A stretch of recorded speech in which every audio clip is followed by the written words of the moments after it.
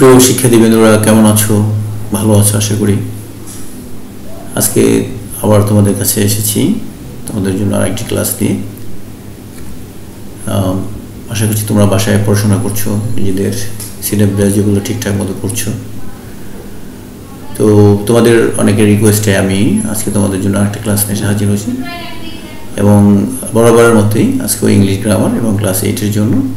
Today's topic transformation of sentence আজকে আমরা transformation of sentence এর কীভাবে করতে হয়, তার সংক্ষিপ্তভাবে একটু আলোচনা করব।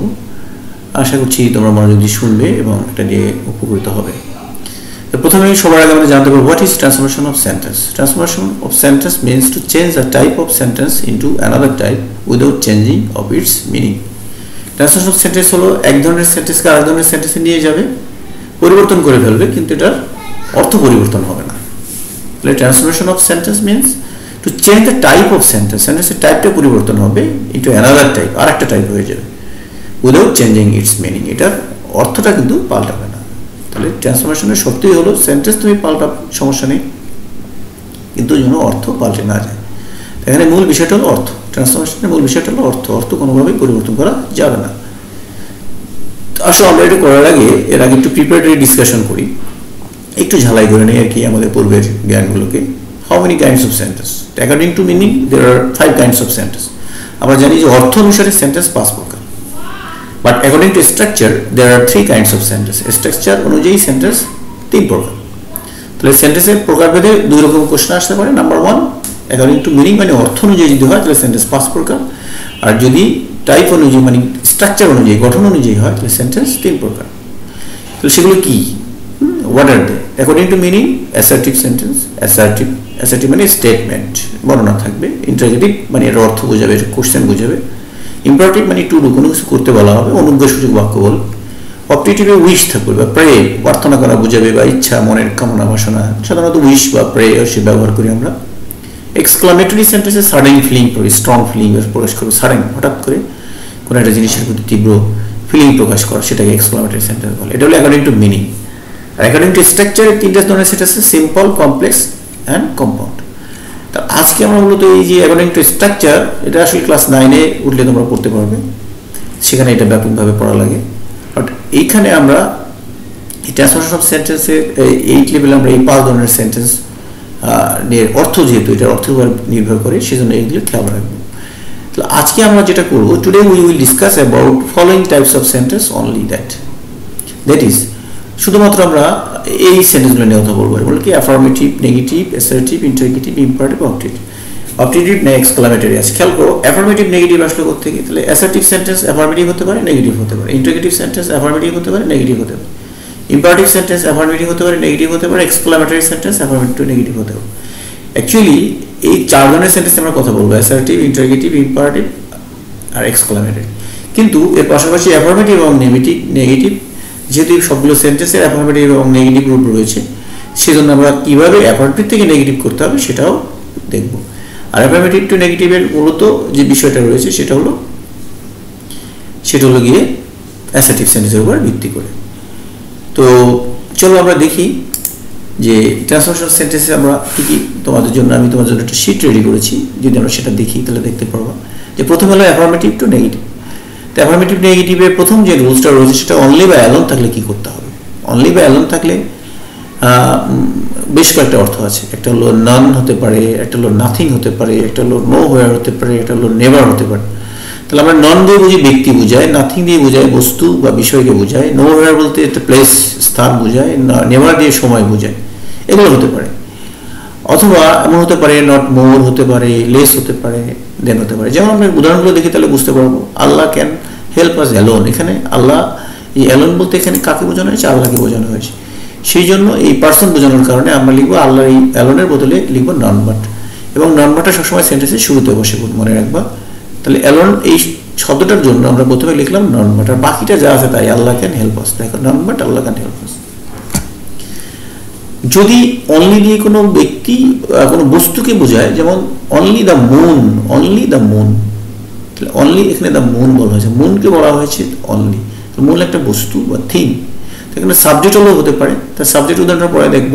তাহলে দ্য মুন এই যে অনলি জায়গায় লিখব নাথিং বাট তাহলে থিং আমরা জানি থিং দিয়ে বস্তু বোঝায়, নাম দিয়ে ব্যক্তি বোঝায়, সেই জন্য সাবজেক্ট মনের জায়গায় আমরা লিখলাম নাথিং আর সাবজেক্ট যদি হলো তো মানে হি নোজ অনলি ইংলিশ তাহলে এখানে ওইরকম ব্যবহার আছে সেটা পরে দেবে এখানে যা আছে আমরা তাই দেখি।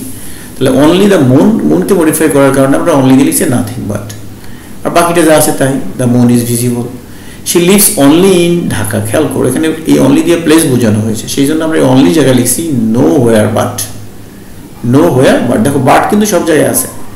নো হোয়ার বাট নো দিয়ে প্লেস বোঝাচ্ছি, কোথাও না বাট ইন ঢাকা। তাহলে এখানে এই যে নাথিং বাট কিছুই নাই, কিছুই nothing is nothing but the moon is visible কিছুই দেখা যায় না, শুধু চাঁদকে দেখা যায়। হ্যাঁ কেউই পারে না আমাদের সাহায্য শুধু আল্লাহ সাহায্য করতে পারে। এখানে একই রকমের যে he lives she lives nowhere but in Dhaka. সে কোথাও বসবাস করে না, কিন্তু ঢাকায় মানে ঢাকা ছাড়া কোথাও বসবাস করে না। তাহলে প্লেস হওয়ার কারণে নো হেয়ার বাট হয়েছে। আবার দেখো এখানে উইন্টার একটা সময় বা সিজন আমরা জানি সময় বোঝানো হয়েছে। সেই জন্য এই অনলি জায়গায় আমরা লিখেছি never but never but never দিয়ে সময় বোঝায় নেগেটিভ ওয়ার্ড সেই জন্য তাহলে এখানে none negative word nothing negative word no আর negative word never nothing negative word সবগুলোর সাথে বাদ দেওয়া হয়েছে। আবার যদি অনলি দিয়ে কোনো সংখ্যা বোঝায়, তাহলে হয় নট লেস দেন যদি বয় বোঝায়, তাহলেও হয় নট মোর দেন মানে মোর লেস তোমার ইচ্ছার উপর নির্ভর করে, লিখতে পারো। বাট অনলি দিয়ে আমরা এই ব্যবহারগুলো পেলাম। তাহলে এক, দুই, তিন, চার, পাঁচ, ছয় ধরনের ব্যবহার আমরা পেলাম। যে অনলি দিয়ে হয় অনলি যদি ব্যক্তি বোঝায় নন বাট বস্তু বোঝালে নাথিং বাট প্লেস বোঝালে নো ওয়ার বাট সময় বা বোঝালে আমরা বলব নেভার বাট সংখ্যা বোঝালে বলব নট লেস দেন অথবা মোর দেন বয়স বোঝালেও আমরা তাই করব। এটা আমার এক নম্বর নিয়ম। দুই নম্বর নিয়ম হলো সে must have to has to should এই শব্দগুলো দেখো, এই শব্দগুলো যদি থাকে, এই শব্দগুলো যে কোনো একটা যদি থাকে যে কোনো একটা, তাহলে আমরা ক্যান নট বাট লিখব। ক্যান নট বাট যেমন উই এর পরে আমরা মাস্ট দিতে পারি শুড দিতে পারি হ্যাভ দিতে পারি, অর্থটা একই থাকে। We must help the poor we cannot but help the poor হ্যাঁ এবার যদি we should help the poor we cannot but help the poor we have to have the poor we cannot but have the poor তার মানে এখানে এই প্রত্যেকটার meaning একই থাকে, সেই জন্য নিয়মটা একই। এইখানে দেখো একটা নিয়ম কথা বলা হয়েছে অর ক্যান নট হেল্প ভার্বের সাথে আইনি যোগ তাহলে এখানে যে ক্যান নট হেল্প এটা হলো সূত্র। এই অংশটুকু হলো সূত্র। ক্যান নট হেল্প এটা হলো সূত্র। ক্যান নট হেল্প তুমি লিখতে পারো ক্যান নট হেল্প লেখার পরে এটা, যেমন ক্যান নট বাট লিখেছো, এখানে নট হেল্প লিখেছো। তাহলে can not can not but যেমন লিখেছো নট বাট লিখে হেল্প আর ক্যান নট হেল্প লিখলে তারপরে ভবিষ্যতে আইনি যোগ তারপরে ভাবটা হলো হেল্প এই জন্য হেল্পিং লিখতে হয়েছে। বাট এখানে বাট থাকলে আর হেল্পের সাথে আইনি যোগ দেওয়া লাগে নাই হেল্প থাকলে এরপরের সাথে হেল্পিং যোগ করা লাগছে। কিন্তু আমরা জানি এখানে হ্যাজ টু লেখা আছে, তাহলে এখানে third person singular number has to হয়, একই নিয়ম। তাহলে must have to has to should থাকলে আমরা ক্যান নট বাট ব্যবহার করতে পারব সহজে। তবে ক্যান নট হেল্পের নিয়মটাও শিখবে, কারণ এটা পরীক্ষায় আসে। অনেক সময় দেখা যায় যেখানে এই ক্যান নট এর পাস্ট টেন্স হ্যাভ টু এর পাস্ট টেন্স বা হ্যাড টু এর পাস্ট হলে হ্যাড টু এই যে হ্যাড টু তো হ্যাড টু হলে হ্যাড টু এর এখানে শুধু কুড লিখতে হবে। হ্যাডের জায়গায় ক্যানের জায়গায় কুড করে দিলে এটা নিয়মটা পাল্টে যাবে। তাহলে হ্যাড টু থাকলে কুড দেখা যায় এই সেন্টেন্সটা প্রায় দেখা যায় পরীক্ষা আসে হ্যাড টু এর ব্যবহার।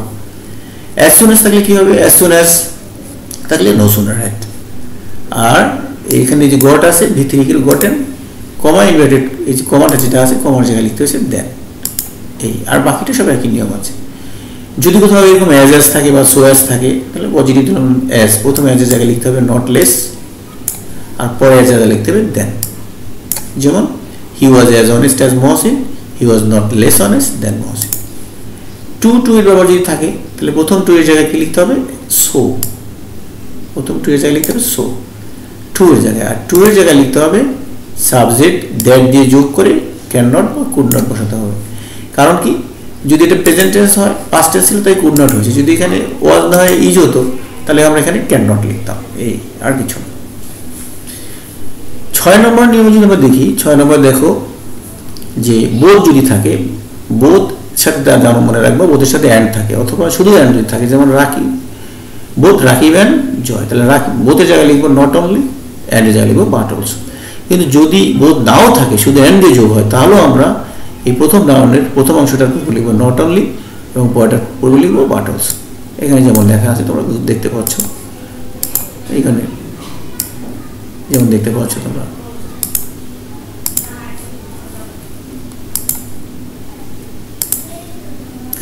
দেখতে পাচ্ছ যেমন।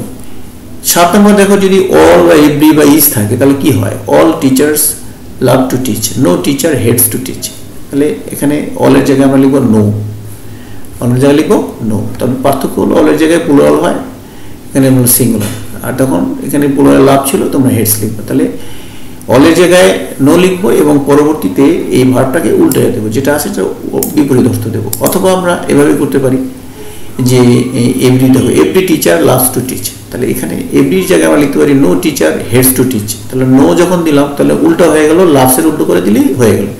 কিন্তু এটাকে আমরা আরেকটা পদ্ধতি করতে পারি, যে এভরি জায়গায় লিখতে পারি there is no there is every জায়গায় লিখব there is no teacher but there is no teacher but বাকিটা তারা পাল্টাতে হবে না। তাহলে আমরা দুটো নিয়মই শিখব, আর একটা নিয়ম শিখলে লাভ হবে না এই কারণে। দেখা গেলো যে এই সেন্টেন্সটাই পরীক্ষায় আসলো।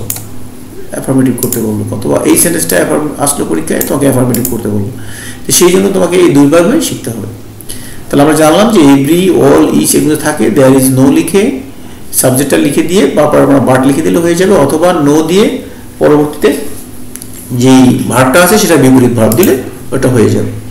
যেমন এভরি মা এভরি বা ইচ মনে রাখব এভরি এবং ইচ কিন্তু একই রকম অর্থ প্রকাশ, একই রকম অর্থ প্রকাশ করে every mother love her child তাহলে no mother hate her child অথবা there is no mother but love her child আচ্ছা যদি এভরি এর সাথে যুক্ত সেন্টেন্স সাথে হ্যাজ থাকে, তাহলে আমরা এভরির জন্য যেমন ছিল তেমনি হবে। দেয়ার ইজ নো স্টুডেন্ট হ্যাজে জায়গায় লিখব উইদাউট আর কিছু না উইদাউট যদি এইভাবে সিম্পল টেন্স যেমন ম্যান ইজ মডেল খেয়াল করো, এখানে এইটা সাবজেক্ট আছে সিম্পল প্রেজেন্ট টেন্স এবং এখানে দেখো, এই যে ইজ অক্সিলারি ভার্ব আছে। তা যদি এইভাবে থাকে, তাহলে আমরা সেক্ষেত্রে এই অক্সিলারি ভার্বটা নট বসাই দেবো, এবং পরবর্তী শব্দটা উল্টো করে দেবো। যেমন মডেল উল মডেল উল্টো শব্দ হলো ইমডেল এই যে মডেল শব্দ লিখলাম ইমডেল শব্দ হলো ইমডেল তাহলে ম্যান ইজ নট ইমডেল তাহলে এখানে যেমন, এখানে ছিল ইজ মর্টাল এখানে হয়েছে, এখানে হয়ে গেছে, এখানে হয়ে গেছে নট ইমমর্টাল এভাবে যদি যদি অক্সিলারি না থাকে, এখানে যেমন ইজ ছিল, দেখে তুমি ইজ নট লিখতে পারছ, ভালো কথা। যদি না থাকে, যেমন ম্যান লাইকস ফ্লাওয়ার্স তাহলে এখানে কি করব? এখানে আমরা জানি, যেখানে থাকে না, সেখানে ডু বা ডাজ বা ডিড দিয়ে সাহায্য নিতে হয়। এখানেও তো আমরা নিয়েছি ডাজ নট ডিসলাইক এটাই একই পদ্ধতি রয়েছে লাইকটা ডিসলাইক হয়েছে। যেটা করতে হয়েছে আমাদের সেটা হলো যেহেতু অক্সিলারি ভার্ব নাই সেই জন্য আমাদেরকে ডাজ নট লিখতে হয়েছে। মানে ডু নট লিখতে হয়েছে। যেহেতু ম্যানটা থার্ড পার্সন সিঙ্গুলার নাম্বার সেই জন্য ইএস দিতে হয়েছে। এবং এখানে ইএস দেওয়ার কারণেই কিন্তু এখানে আর এই লাইকস ছিল এখানে এখানে আমরা ডিসলাইকস দেইনি ডিসলাইক দিয়েছি। এই ভুলগুলো কিন্তু হয় পরীক্ষায়। এগারো নম্বর দেখো অলওয়েজ থাকলে কি হয়? Always remember liver never forget তাহলে অলওয়েজ থাকলে নেভার আর পরের শব্দটার উল্টো শব্দ নেভার ফরগেট সামটাইমস দেখলে হবে নট অলওয়েজ যেমন আই সামটাইমস গো দেয়ার তাহলে এখানে দেখো হেল্পিং ভার্ব না বিদায় ডোন্ট লিখেছি। আর সামটাইমসের জায়গায় অলওয়েজ তাহলে সামটাইমস থাকলে অলওয়েজ আর অলওয়েজ থাকলে নেভার এবারে যদি থাকে মেনি মেনি থাকলে নট আ ফিউ যেমন Tushar has many pens Tushar has not a few pens এবার যদি এ ফিউ থাকে তখন কী করবা? যেমন Zishan has a few friends Zishan has not many friends তাহলে এ ফিউ হলে নট মেনি মেনি থাকলে নট আ ফিউ মাছ থাকলে নট আ লিটল যেমন I have much money I have not a little money আবার I have a little milk in the glass I have not much milk in the glass এইগুলো হবে এখানে এই বিশেষ করে তোমরা মনে রাখবা, এই সতেরো নম্বর নিয়মটা ভালো করে মনে রাখবে, এটা মুখস্থ করে ফেলবা। সুপার যারা ডিগ্রি পারো তাদের জন্য খুব সহজ, যারা ডিগ্রি পারছে না তাদের জন্য মনে রাখতে হবে। যে দেখুন দ্য বেস্ট সুপারলিটিভ ডিগ্রি বোঝানোর জন্য হয়, তাহলে আমরা এটা নোয়াদার দিয়ে শুরু করব। তারপরে এই বেস্টের পরের অংশ পুরোটা লেখা হয়েছে এখানে। তারপরে এই দ্য বেস্ট এখানে অ্যাজ গুড অ্যাজ আর এই সাবজেক্টটাকে শেষে দিয়ে দেওয়া হয়েছে। তাহলে ইজ দেওয়া হয়েছে ভার্ব দেওয়ার পরে তারপরে সাবজেক্টটা দিয়ে দেওয়া হয়েছে। এটা একটু মুখস্থ করে বলো, মনে রাখবে এটা। তারপরে আছে কি, দেখো আমরা আঠারো নম্বর নিয়ম দেখব, যদি বাইয়ের সাথে প্রেজেন্ট পার্টিসিপাল হয়, যেমন বাই রিডিং বুকস যদি বাই থাকে, আমরা লিখব বাই জায়গায় লিখব উইদাউট রিডিং রিডিংই থাকবে। তবে এখানে আছে উই ক্যান ক্যানের জায়গায় নট দেবো। তাহলে কী হবে? By reading books without reading books R can ক্যানের জায়গায় ক্যান না হবে ক্যান নট তাহলে বাইরের জায়গায় উইদাউট ক্যানের জায়গায় ক্যান নট এই হলো অ্যাফরমেটিভ থেকে নেগেটিভ করার কিছু নিয়ম আমরা বললাম। এছাড়াও আরও কিছু নিয়ম রয়েছে বাট এগুলোই খুব ঘন ঘন পরীক্ষায় আসে এবং বিভিন্ন জায়গায় আসে। আমরা এরপর দেখব অ্যাসেটিভ প্রি ইন্টাগ্রেটিভ কীভাবে করতে হয়। অ্যাসেটিভ প্রি ইন্টাগ্রেটিভের প্রথম নম্বর যে কথাটা আসছে সেটা হলো ফুল স্টপ এবং কোর্সেন মার্ক আমরা জানি অ্যাসেটিভ সেন্টেন্স শেষে ফুল স্টপ হয় আর ইন্টাগ্রেটিভ সেন্টেন্স শেষে কোর্সেন মার্ক হয়। কিন্তু এই কাজটাই তোমাদের ভুল হয়। দেখা যায় যে অ্যাসেটিভ ইন্টাগ্রেটিভ করছ কিন্তু কোর্সেন মার্ক দিচ্ছ না। এই ভুলটা প্রায় হয়ে থাকে, সেজন্য খেয়াল করব তো অ্যাফার্মেটিভ করতে আরেকটা নিয়ম মনে রাখতে হবে, সেটা হলো কি? অ্যাসার্টিভ টু ইন্টারগেটিভ করতে গেলে যেটা হয়, সেটা হলো অ্যাসার্টিভ সেন্টেন্স থেকে ইন্টারগেটিভ করতে গেলে অ্যাসার্টিভ সেন্টেন্স যদি অ্যাফার্মেটিভ হয়, তাহলে সেটাকে নেগেটিভ করতে হবে। আর আমরা জানি অ্যাসার্টিভ থেকে ইন্টারগেটিভ করতে গেলে অক্সিলারি ভার্বটা সেন্টেন্সের শুরুতে দিলেই হয়ে যায়। যেমন ইজ আছে ইজকে প্রথমে দিলেই আপনি অক্সিলারি ভার্ব ছাড়া আমরা জানি যে ইন্টারগেটিভ করা যায় না। তাহলে এখানে আছে ইজ তাহলে আমরা লিখব কি ইজ কামাল তাহলে ইজ কামাল না লিখে লিখব ইজ এন্ড কামাল আর বাকিটা সব কিন্তু question mark Kamal is a good boy isn't Kamal a good he does doesn't do it এখানে যে ডাজেন্ট আসছে তাহলে ডাজেন্ট না থাকার কারণে আমরা লিখছি শুধু ডাজ ইজ থাকার কারণে লিখছি ইজেন্ট আর ডাজেন্ট লাগার কারণে লিখছি ডাজ শুরুতে দিলে এটা ইন্টিগ্রেটিভ হয়ে গেল। আচ্ছা এরপর আছে দেখো এভরিওয়ান যদি থাকে, তাহলে আমরা হু লিখব। এভরিওয়ান লিখলে হু লিখবে এবং হুর পরে ডাজেন্ট লিখবে। এভরিওয়ান যদি থাকে, তাহলে আমরা লিখব কি হু ডাজেন্ট এভরিওয়ান থাকলে কি লিখব? হু ডাজেন্ট আর এর ডাজেন্ট লেখার কারণে এরপরে দেখো ভাবটার সাথে যদি এস বাই এস থাকে, সেগুলো আর দিবে না। মূল ভাবটা লিখবে।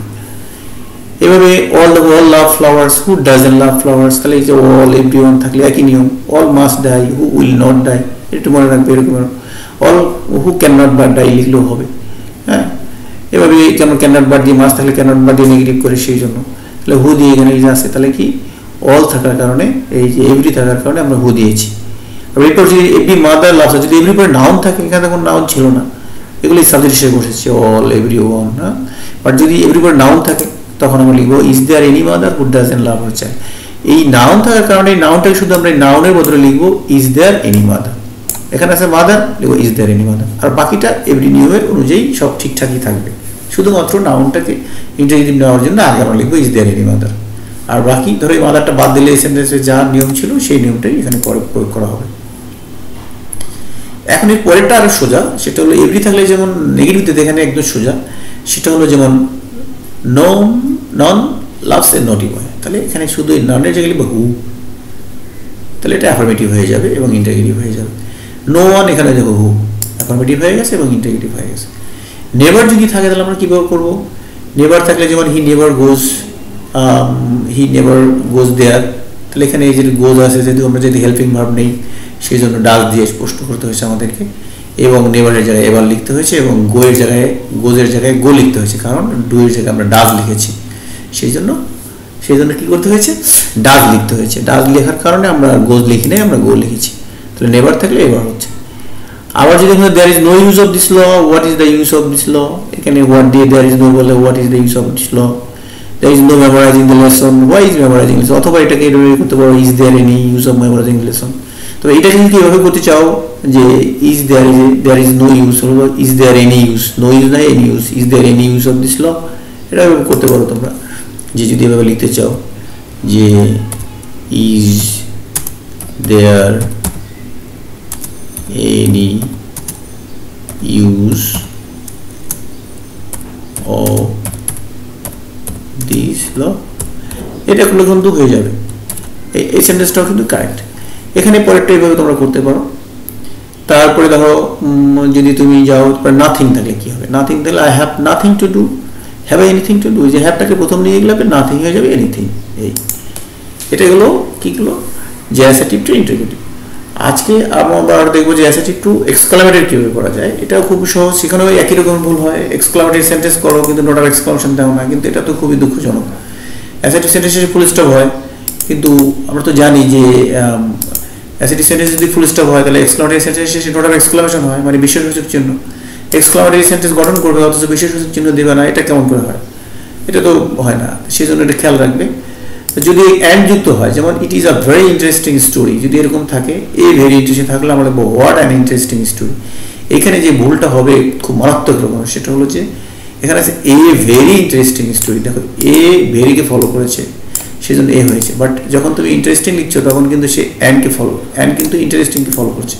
ইন্টারেস্টিং আগে কিন্তু অ্যান হবে ভেরি আগে এ হবে, তো সেই জন্য এটা পরিবর্তন করার সময় খেয়াল রাখবে it is a very interesting story what an interesting story it is এটা কি কি করতে পারলে what an interesting what an interesting story আর শেষে ইটিসটা এটা শেষে বসেছে, শেষে নোট অফ এক্সক্লামেশন বসানো হয়েছে।